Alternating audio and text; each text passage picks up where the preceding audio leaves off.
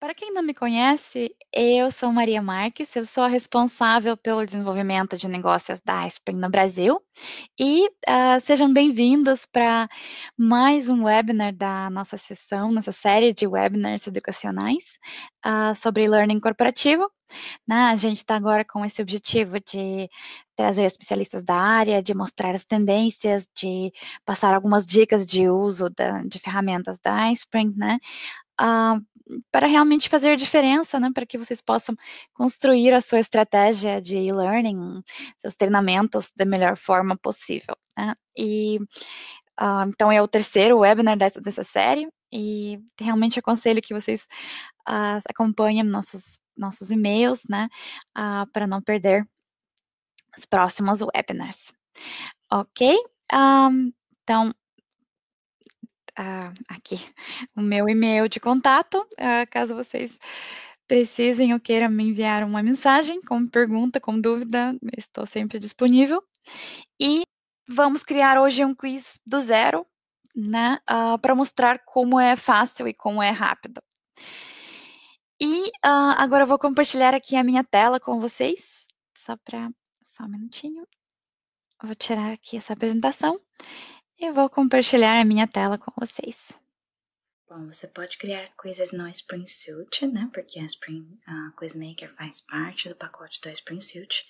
Ou você pode criar uh, uh, os seus testes diretamente na ferramenta Spring Quizmaker, ok?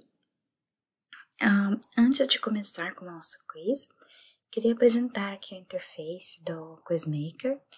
Então, você tem aqui uh, duas abas principais, que é vista de formulário, que, que ajuda a preencher o texto de suas perguntas e configurar uh, todos os recursos de, de pergunta. Então, por exemplo, o tempo, o, o tempo que você deixa para o seu usuário para responder essa pergunta, né? Os pontos que ele vai ganhar, a quantidade de tentativas, essas coisas e essa aba com vista de slide que vai ajudar a gente a arrumar o visual de cada um desses slides. Ok?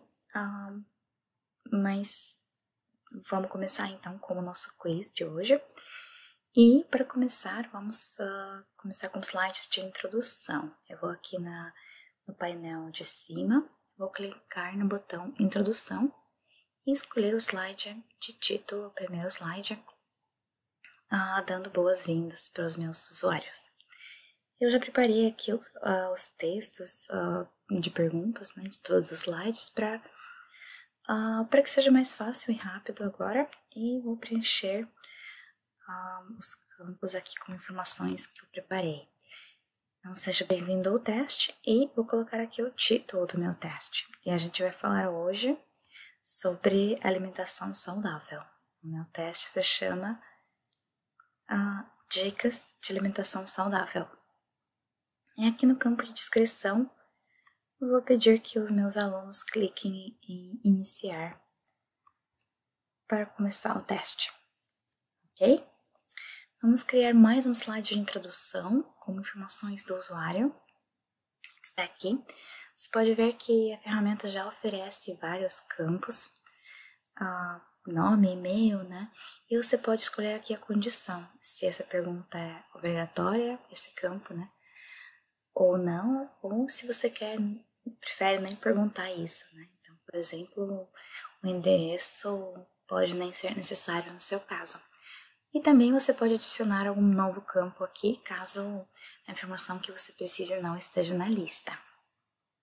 Eu vou pedir que os meus usuários se apresentem. Só copiar aqui e colar nesse campo. Prontinho. Uh, vamos criar aqui mais um slide de introdução, slide com informações, com instruções uh, para o teste. Então, vamos aqui instruções.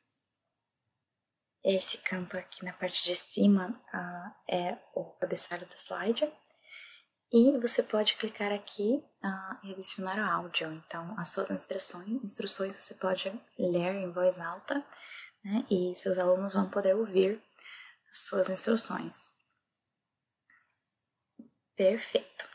E aqui a descrição do, do slide, né? E aqui a gente vai colocar as instruções para os nossos alunos. Ok, só arrumar aqui para ficar bonito.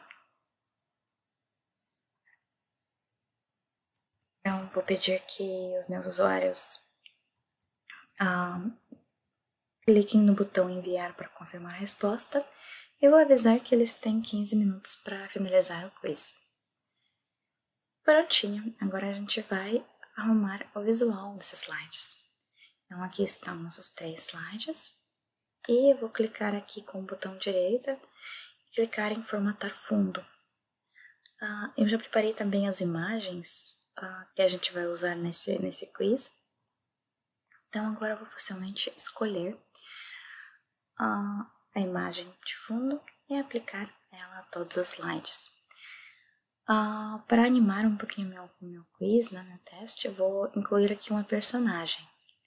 Nessa, na parte de cima, no painel de cima, eu vou no inserir e escolher uma personagem.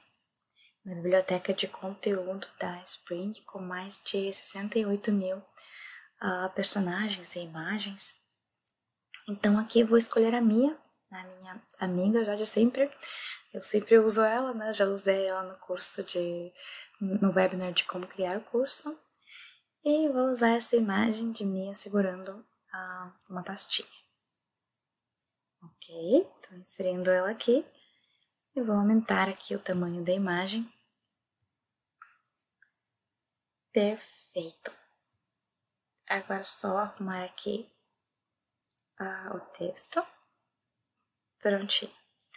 Agora vamos arrumar esse slide eu vou novamente incluir uma imagem da Mia aqui. Volto para clicar na personagem, Mia, e vou pegar essa imagem ah, dela segurando uma folha em branco.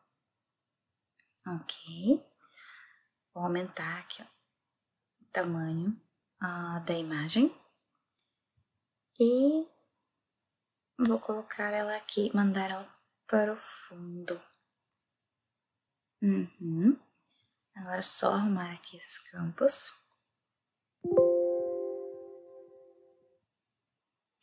E incluir aqui o texto.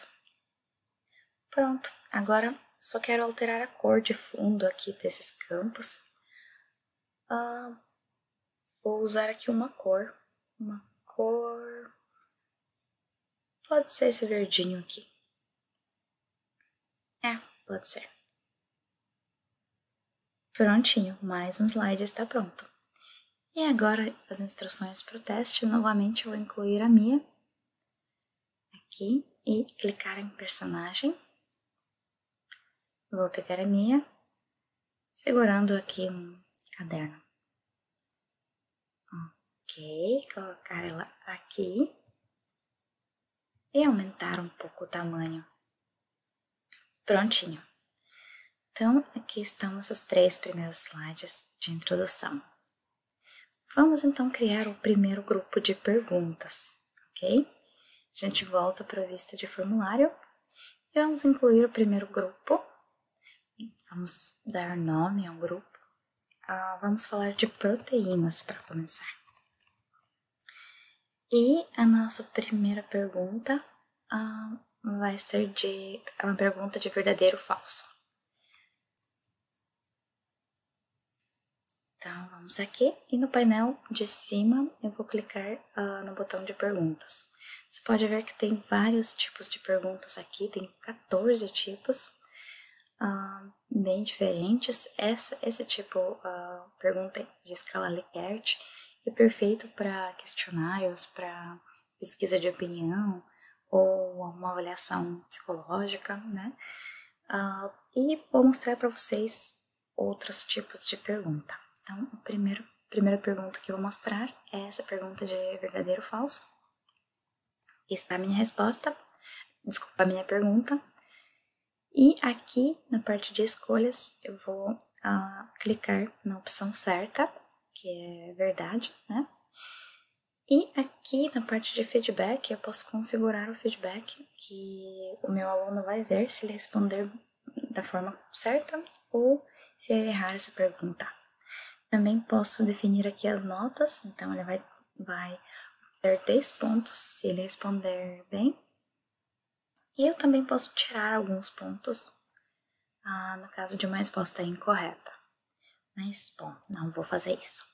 Não vou ser a professora má. Beleza? Ah, eu posso incluir aqui um feedback, mas no caso eu quero introduzir mais informações para o meu aluno, né? Se ele errar essa pergunta, então vou incluir aqui um slide de informação. Esse slide uh, permite passar algumas informações ajudando o aluno a aprender mais, né? E a refrescar a memória sobre algumas coisas que, que ele aprendeu no passado. Então, vou colocar aqui o título proteínas. E agora eu vou configurar aqui a ramificação. Ou seja, se o meu usuário responder a primeira pergunta uh, da forma errada, ele será encaminhado para esse segundo slide com informações sobre proteínas. Ok? Uh, volto aqui para a vista de slide e vou configurar o visual dessas, uh, desses dois slides. Então, eu já tenho aqui uma imagem para esse slide. Essa aqui é o meu slide de informações. Eu também vou incluir aqui uma imagem, imagem de fundo, uh, essa aqui. E indo aqui na parte, no painel de cima, na aba inserir, vou incluir uma imagem uh, de proteína, por exemplo, desse pedaço de carne aqui. Ok, perfeito. Vamos, vamos então criar mais, um, uh, mais uma pergunta. Vamos voltar aqui para a vista de formulário e essa pergunta será de múltipla resposta. Ok, pergunta múltipla resposta. Qual é a diferença entre múltipla escolha e múltipla resposta? A pergunta de múltipla uh, escolha tem várias opções e apenas uma delas é, uh, é a opção correta. No caso de pergunta de múltipla resposta, você pode ter mais de uma resposta correta e uh, ok, então aqui eu vou digitar carne, frango e peixe e salada verde é mais uma opção. Massa. Aqui, salada verde e mais uma opção, ovos. Eu vou marcar ovos e carne como respostas corretas. Lembrando que eu também posso incluir aqui imagens, né? Ah, posso configurar as respostas em formato de imagens. E eu também posso configurar aqui um feedback.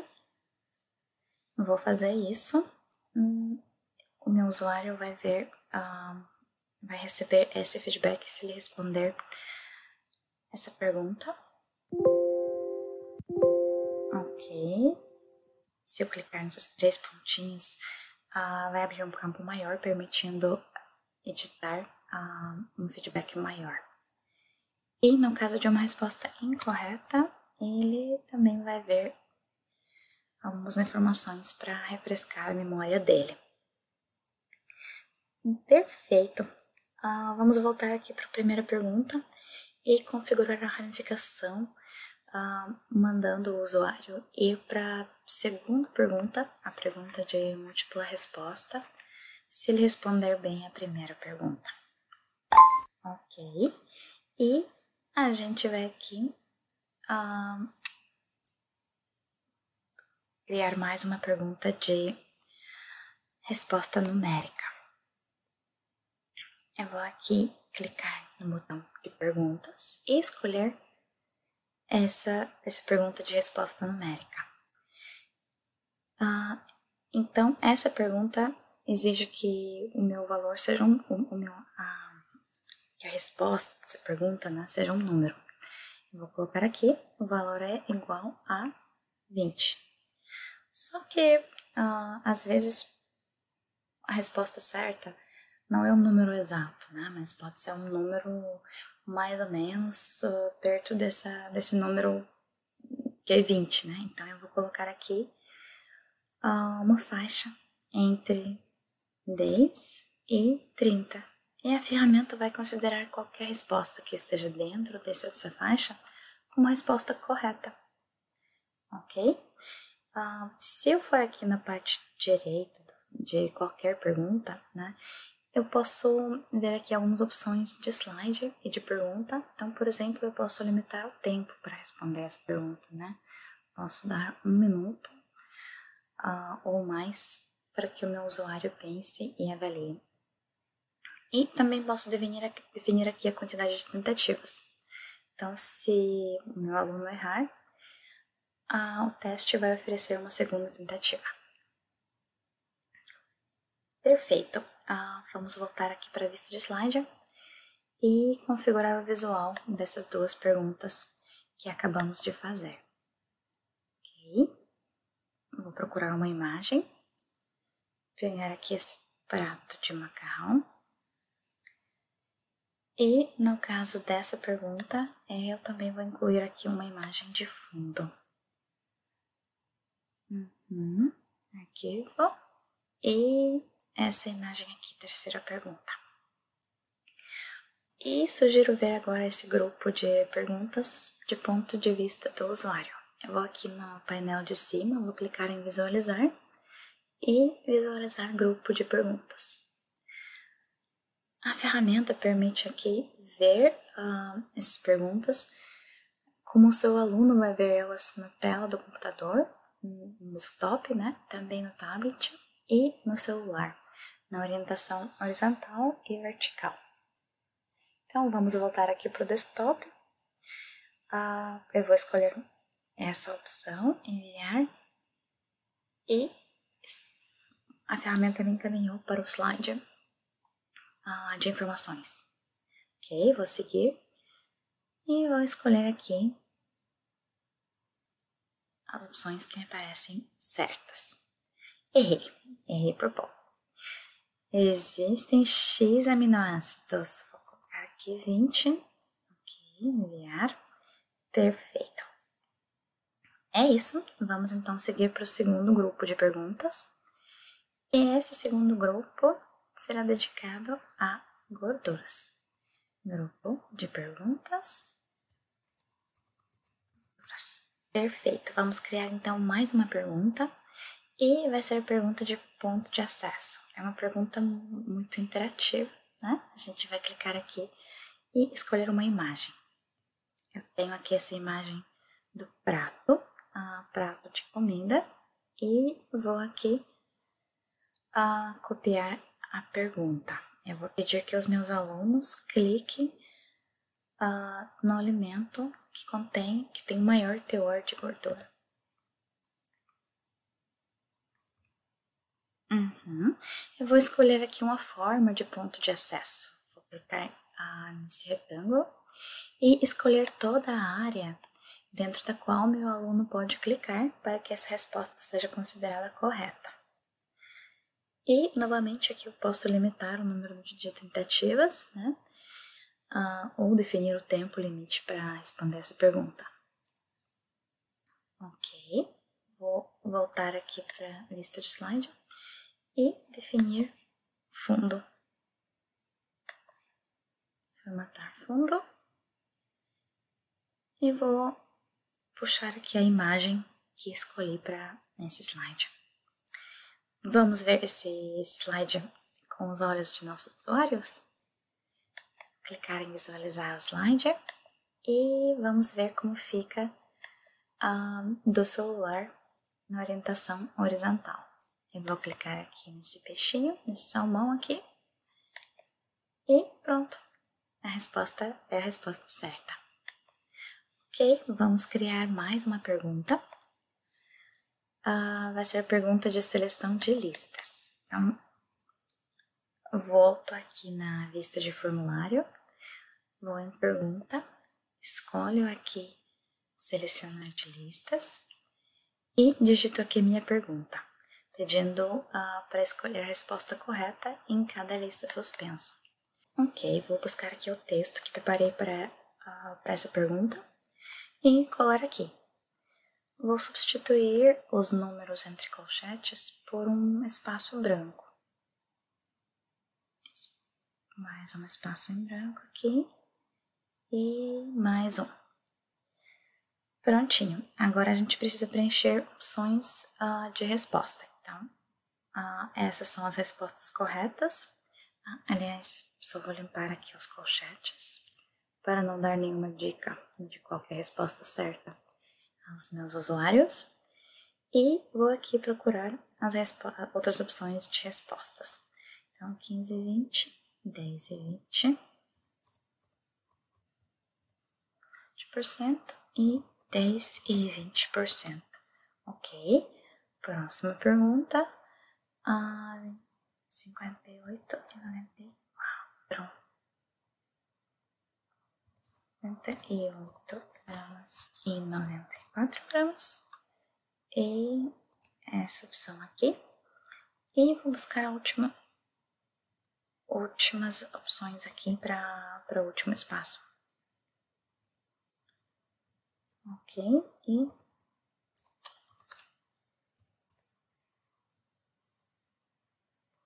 prontinho. Perfeito. Lembrando que você pode incluir aqui uma imagem ou um vídeo ou uma imagem, uh, desculpa, um áudio, né, para uh, ah, para sua pergunta, né, para aumentar esse essa interatividade do seu do seu quiz, do seu teste. Perfeito. Vamos então uh, incluir aqui uma imagem, imagem de fundo, para cuidar do visual do nosso slide. É essa imagem que eu queria incluir. Vou arrumar aqui o texto. Prontinho. Uh, vamos visualizar esse slide. Por exemplo, vamos ver como ele fica em um tablet. Aqui está, o seu aluno vai ter que escolher as respostas certas e clicar no botão enviar. Você pode ver que o seu aluno vai ver na hora onde que ele errou, né? Quais, uh, quais respostas ele acertou e quais errou. Beleza, uh, vamos então criar mais um grupo, um grupo de carboidratos e mais uma pergunta de ponto de acesso. Volto aqui na vista de formulário, clico no botão grupo de perguntas, dou nome a esse grupo e volto aqui na, ah, no botão de pergunta e clico na pergunta de ponto de acesso. Vou procurar uma imagem ah, para o meu ponto de acesso e vou usar outro marcador, esse, esse oval aqui. Eu quero saber qual produto tem mais carboidratos. E eu tenho aqui imagem de cereal, de sanduíche com manteiga de amendoim e um prato aqui de aveia. E a resposta certa é cereal. Perfeito! Agora vamos aqui para a vista de slide e vamos incluir uma imagem de fundo. Quero colocar um cooktop aqui. Essa imagem. E vou diminuir aqui o tamanho desses uh, alimentos, né? Para que eles cabem aqui nesse cooktop. Perfeito! Querem ver ah, como é, como, como será esse slide, como ele vai aparecer para os seus alunos?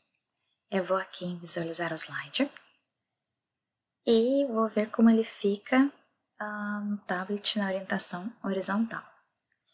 Estão aqui nossos produtos e vou escolher o cereal. Enviar e a ferramenta avisa que eu escolhi a resposta certa. Perfeito, vamos criar aqui mais uma pergunta uh, de arrasta-palavras. Vou aqui uh, clicar nesse botão que me permite escolher as perguntas. E aqui está a pergunta de arrastar as palavras. A tarefa é essa, preencher as lacunas com, com as palavras correspondentes. E tenho aqui o meu texto com, com brancos. Vou inserir ele aqui e substituir as palavras entre colchetes com esses brancos aqui. A ferramenta automaticamente vai uh, incluir as palavras que estão dentro uh, dos espaços brancos, né, para a lista de opções de palavras. Ups. Energia. Uhum. Mas você também pode incluir algumas outras palavras ah, só para confundir o seu aluno, para dificultar um pouquinho mais esse exercício, né? Então, vou colocar aqui carne. Ah, que mais? Hum, metabolismo e, e legumes. Prontinho. Agora eu posso clicar aqui nessa opção de ordenar palavras alfabeticamente para dificultar um pouco mais essa pergunta. E posso aceitar respostas parcialmente corretas. Para ajudar um pouquinho o meu aluno. E vamos voltar aqui para a vista de slide. E vou uh, incluir aqui um fundo, uma imagem do fundo para que meu slide fique um pouquinho mais bonito. Ok, perfeito. Aqui está o texto e aqui estão as palavras que o meu funcionário, o meu aluno, ah, precisa incluir nesses espaços em branco. Vamos ver como fica. Visualizar o slide. Desculpa. Tá aqui. E a gente vai ver na tela do desktop. Então, vou, vou tentar acertar aqui. Embora não lembre qual que, qual que é a resposta certa. Olha, acertei. Perfeito. Ah, vamos criar aqui mais um grupo, ah, um grupo de fibras. Você pode perguntar para que, que eu estou criando esses grupos, né? Para, por que, que é importante dividir as suas perguntas. Uh, não é necessário, você pode criar um teste sem, sem grupos, só incluindo todas as perguntas em um grupo, né? Mas isso é legal se, por exemplo, você tem um teste grande, né? Uh, com 100 perguntas, ou 50 perguntas, né? E você não quer que o seu aluno perde muito tempo respondendo todas as perguntas, você pode ir aqui uh, nessa, nessa imagem de símbolo de engrenagem, propriedades, e definir quantas perguntas de cada grupo o seu aluno vai ter que passar. Por exemplo, uma pergunta de cada grupo pode ser suficiente para avaliar o conhecimento de seus alunos. Perfeito, vamos aqui a criar mais uma imagem, a mais uma pergunta, desculpa, desse grupo. Vai ser do tipo resposta curta. Aqui está. E a minha pergunta é: qual é a corte de carne mais rica em fibras? E a resposta certa uh, é colchão duro. Só que eu vou definir aqui outras, uh, outras variações dessa resposta que, que eu quero que a ferramenta também considere como, uh, como certas, né? como respostas certas. Então, e, por exemplo, colchão sem assento.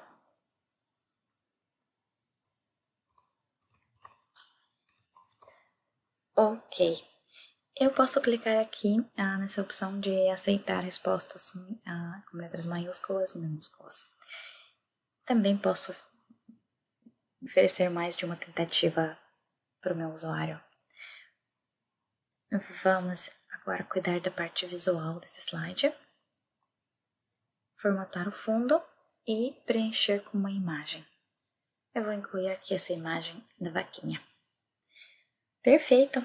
Vamos incluir mais uma, mais uma pergunta aqui. Pergunta de sequência. Volto na vista de formulário, perguntas, sequência. E eu vou pedir que os meus funcionários coloquem os seguintes elementos na sequência de mais rico em fibras para menos rico. Então, as opções eu vou colocar a aqui na ordem correta. Então, coentro é o mais rico, depois pipoca e lentilha. Vocês vão agora aprender não só uh, como criar um teste, mas também dicas de alimentação saudável, né? Quais são os elementos mais ricos em fibra? Ok, lentilha, uh, abacate depois e, por fim, chocolate. Ups, e aqui chocolate meio amargo. Lembrando que essas opções de resposta né, podem uh, ser incluídas em formato de imagem. Ok, vamos voltar aqui para a vista de slider, mudar uh, o fundo, para não deixar esse fundo branco aqui. Eu vou incluir esse fundo com fórmula. Uh, vamos tentar responder essa pergunta como se a gente fosse os alunos, né?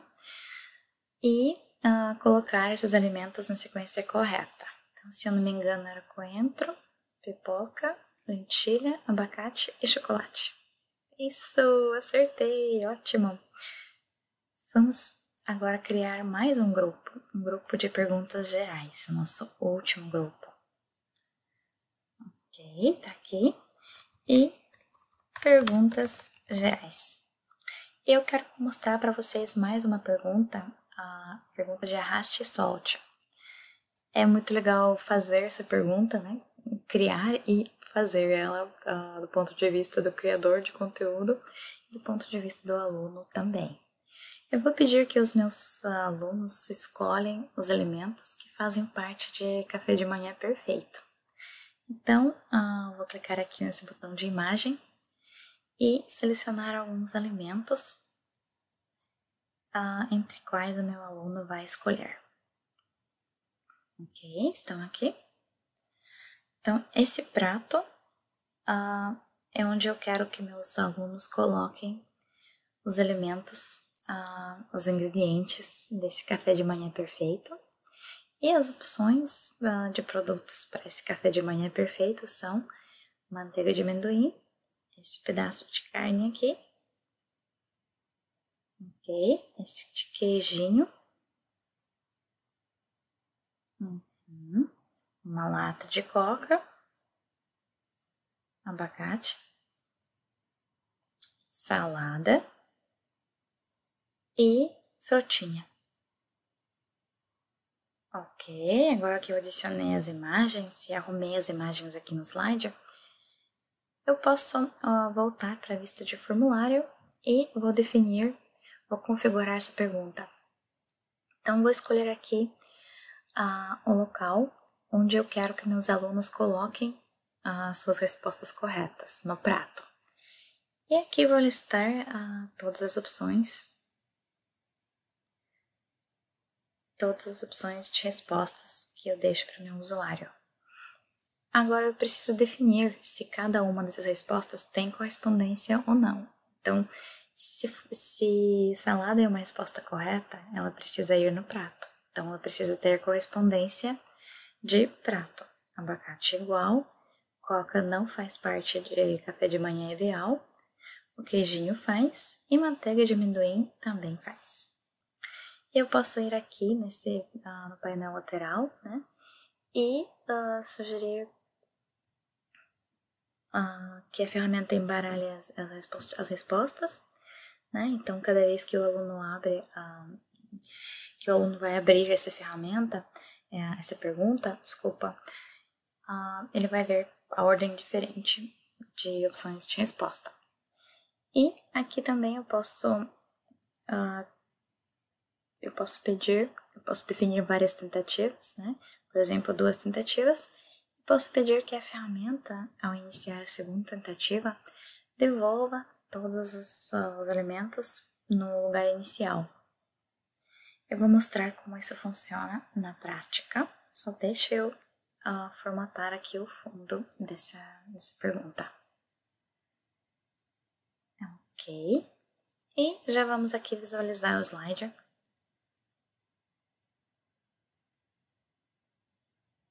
Aqui está. Então, aqui está o nosso prato a gente vai colocar alguns alimentos aqui. Enviar. Não deu certo, resposta errada.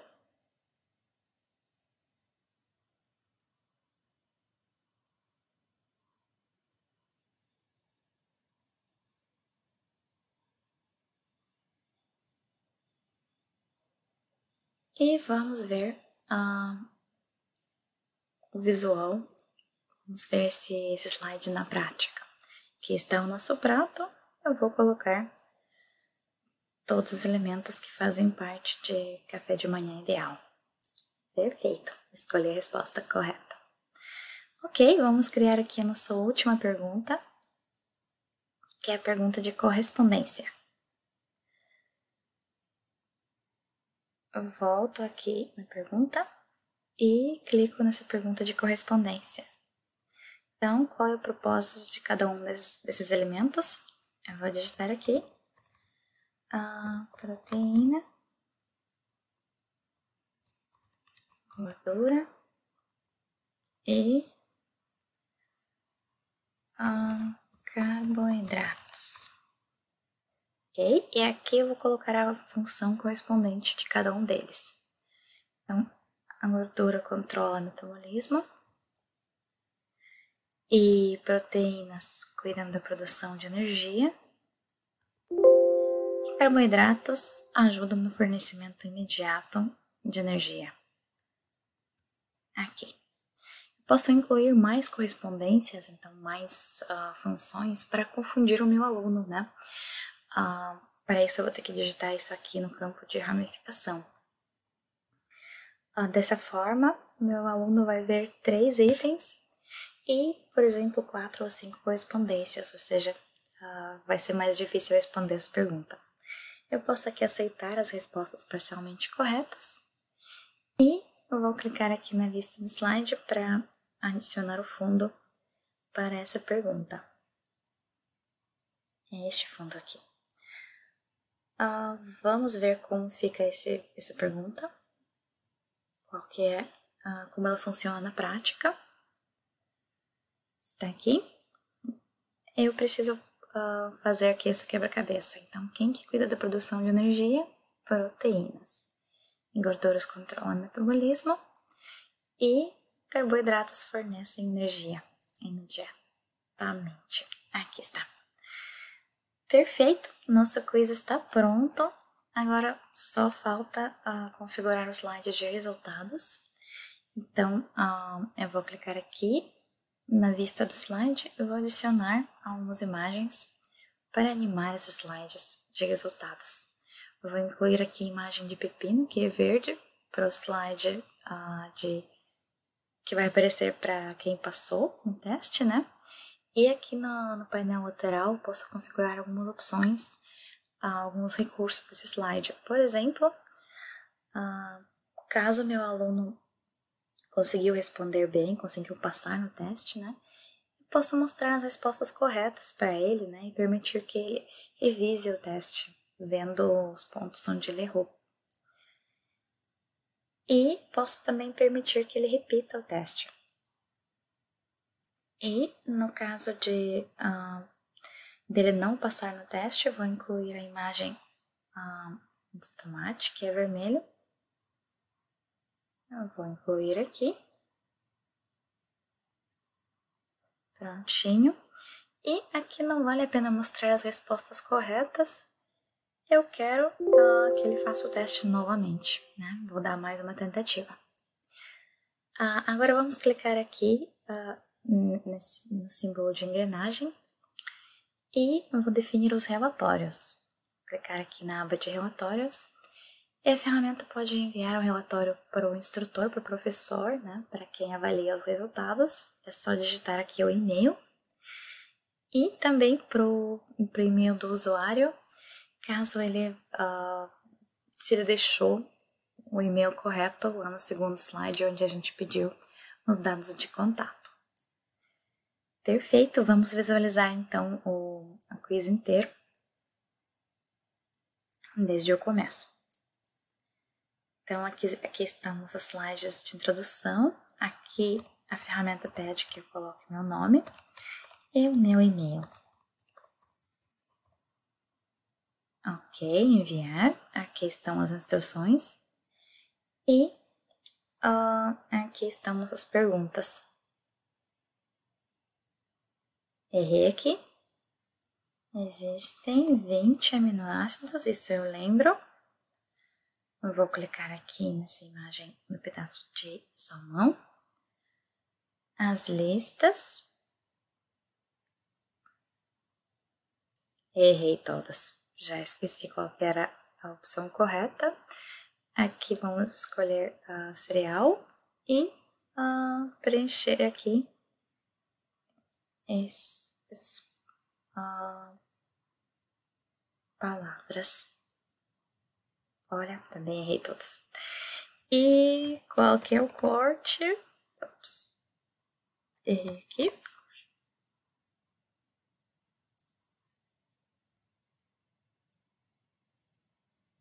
Mais tentativas. Agora sim. Agora escolhi a resposta correta. Aqui a gente vai uh, criar a sequência. Uh, se eu não me engano, era essa a ordem correta, enviar, certo?